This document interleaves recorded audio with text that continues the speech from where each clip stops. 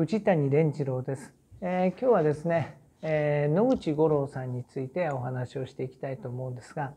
えー、いつもは野口五郎さんの曲を聴き直すという企画でやらせてもらっていますが、えーちょっと今回はですね毛色を変えてこれについてもう一回えお話をしておきたいので皆さんのご記憶のところを教えていただけるとありがたいというところでお話しますけど曲じゃないです。え何かというと野口五郎さんが出演した「えー、かっくら近代放送」というテレビの記憶についてお話ししたいと思います。えー、基本データはこんな感じになります。かっくら近代放送というのは1902回あるんですね。えー、2シリーズあったというかなんかまあいろいろなんかのプロ野球かなんかの梅草で始まってそこからでレギュラー化したみたいなことがあるみたいですけど最初は1975年の4月から9月で1976年にもう一回今度レギュラー化ちゃんとしたレギュラー化だったんですよね。1986年の3月までやってたと。そうですそうです。僕子供の頃見てたのってこれだと思うんですが。で日本テレビ系列でこれもはっきり覚えてますが金曜の夜7時半でしたよね。で約30分間放送。で、えー、メインのキャストがえー、と堺正明さん坂上二郎さん、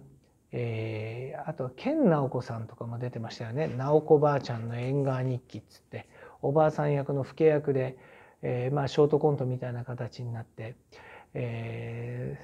ー、健直子さんが出てたような気がするんですが。あるいは堺正樹さんと交互だったのかなとも思うんですがでえ重要なのは、えー、新御三家などのコントが30分コント中心の番組なんですけどメインキャストのその二郎さん町明さんの間に、えー、実はその新御三家が投入されてその、えー、僕のイメージで言うと私のイメージで言うと新御三家とは言いながら五郎さんが一番最初だったような記憶があるんです。で五郎さんのイメージが一番、えー、強いんですね。でひろみさんも確かに秀樹さんも出てて、えーと、この3人の刑事ものっていうのがあって、えーと、確か五郎さんはゴロンボとかいうキャラクターじゃなかったでしたっけ？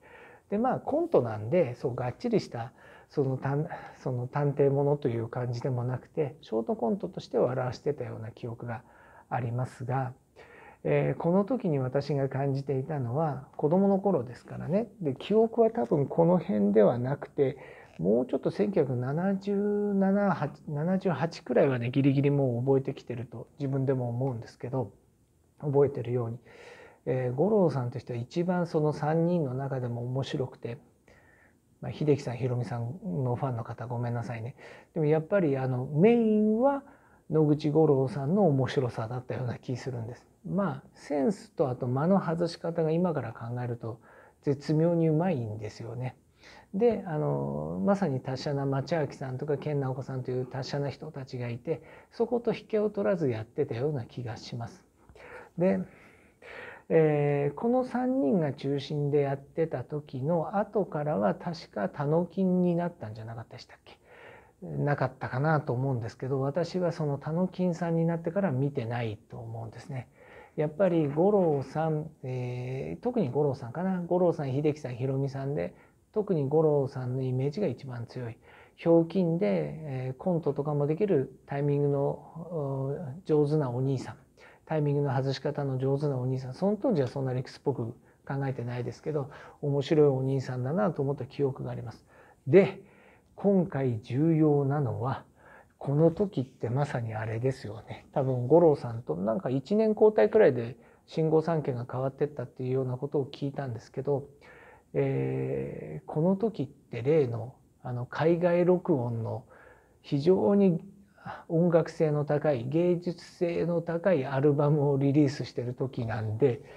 まあそのタレントとしての器の大きさえーと、これもあの YouTube かなの動画だったりあるいは Wikipedia とかでも見た記憶があるんですけどもともとはそのコントをやるということに五郎さん自身はあんまり反応してなかった。あんまりいい気持ちはなかったけど、えー、やめたいとか遠慮させてもらいたいって言ったら結構怖いフレーズをプロデューサーだかディレクターから聞いて「いや喜んでやらせていただきます」っつったっていうこれもね五郎さんの達者な話芸だからどこまで本当か分かりませんけど驚くのはやはりそういうものもテレビで、えー、面白くこなし一方で歌謡曲の歌手として、まあ、アピールできる売れ筋の歌を歌って一方でアルバムであるいはギター弾きとしてもミュージシャンとして、えー、すごく前向きな活動をしているこの野口五郎という人のセンスの器の大きさですね。で私は何度も申し上げてますがやっぱり私のイメージの中では角倉近代放送の五郎さんなんです。それがいかに偏ったイメージなのかっていうのは今打ちのめされて毎日ああこうなんだと思ってますけどでも逆にやっぱり子どもの頃の自分のまあテレビで見るしかなかった自分の記憶としてやっぱり角倉近代放送、え、坂上二郎さんとか町明さんとかとあるいは直子さんとかと、えー、引けを取らずやってる五郎さんのイメージっていうのもやっぱり言っておきたくて今日はお話ししました。